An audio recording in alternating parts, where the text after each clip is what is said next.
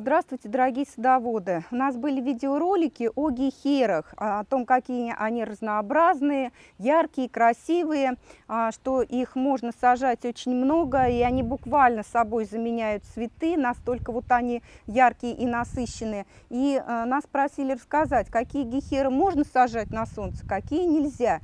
И сейчас еще я и о хостах немножечко тоже расскажу, потому что у них совершенно те же проблемы. Какие-то выносят яркое солнце, какие-то нет. А, вот посмотрите, мы сейчас сидим здесь на этом уголочке, у меня здесь очень солнечно бывает, сейчас просто вот пасмурная погода, поэтому, поэтому вы не поймете этого. И вот у меня здесь раз, два, три, вот четвертый сорт э, гехеры, и они здесь совершенно себя хорошо чувствуют. Вот видите, какие они яркие, красивые, и листочки у них совершенно не подгорели.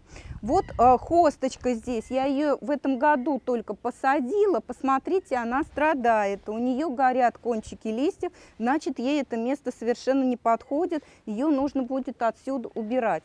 А как же вот определить, какие можно сажать на солнце, какие нельзя? Вот в описании на упаковке э, очень редко пишут такую информацию конкретно, что это, этот сорт подходит для открытого солнца. Если обозначаются условия содержания значками, а это очень часто э, бывает, то вот солнышко рисует пополам, то есть это полутень. И для гейхеры, и для хоста это самые лучшие условия. Но вот некоторые сорта, видите, они совершенно хорошо себя чувствуют и на солнце. Как же тогда выбирать? А вот только а, методом пробы. То есть вы пробуете сажать, не получается, пересаживаете. И вот сейчас мы к одной гехере подойдем, я вам ее покажу. Вот ей тут совершенно некомфортно, ее нужно будет отсюда пересаживать. Ну вот мы перешли немножечко на другое место. Посмотрите, здесь вот растет и хоста, совершенно прекрасно себя чувствует на солнечном месте. И медуница, для нее тоже рекомендуют а, полутень, тем не менее она нормально себе растет. А вот эта гейхера, видите, она совершенно не развивается. Она здесь сохнет, листочки у нее вот сухие, нижние я совсем оборвала. И видите, она такая маленькая. Я уже несколько гейхер а, пересадила с этого места место. И в тени они у меня стали расти гораздо лучше, гораздо быстрее. Листочки у них стали крупные, черешки листьев подлиннее, то есть они свободнее гораздо себя чувствуют. Когда пересаживать гехеры?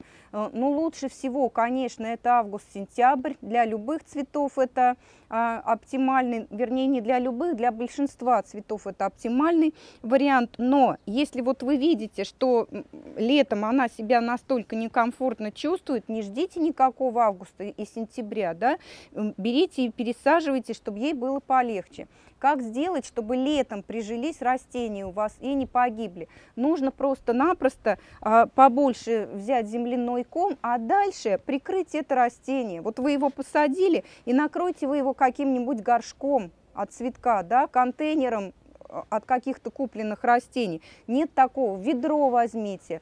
А, или э, вот колышки можно поставить и спанбонд вот так вот вокруг на, натянуть. И оставьте так на несколько дней. Если вы приезжаете в сад только по выходным, вот 5-6 дней в таком состоянии совершенно спокойно растение а, переживет. И ничего с листьями там плохого не случится. И открывать после этого можно уже ну, вечером, там, в пасмурную погоду. Вот вы приехали в субботу, субботу, да, к вечеру откройте, дальше в воскресенье понаблюдайте за ним, да, может быть, днем подержите под горшком, вечером опять откройте, и уже все, и уже считайте, что ваше растение прижилось.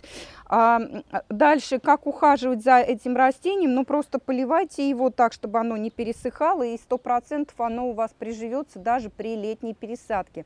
Вот так, дорогие друзья, покупайте разные гехеры, покупайте разные хосты, тесты, только следите за ними. Если они у вас плохо себя чувствуют, ищите им другое место, не бойтесь пересаживать даже в летний период.